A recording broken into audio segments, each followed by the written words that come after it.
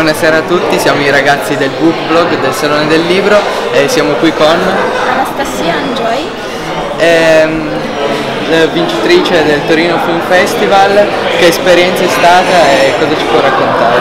allora eh, scrivere per il tuo lingua madre è stata una grandissima emozione eh, perché penso che parlare comunque di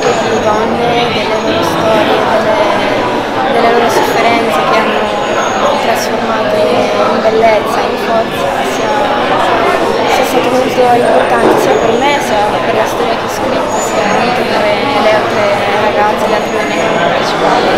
Il Torino Film Festival sta iniziando me lo godrò anch'io. Perfetto, grazie mille, buon proseguimento.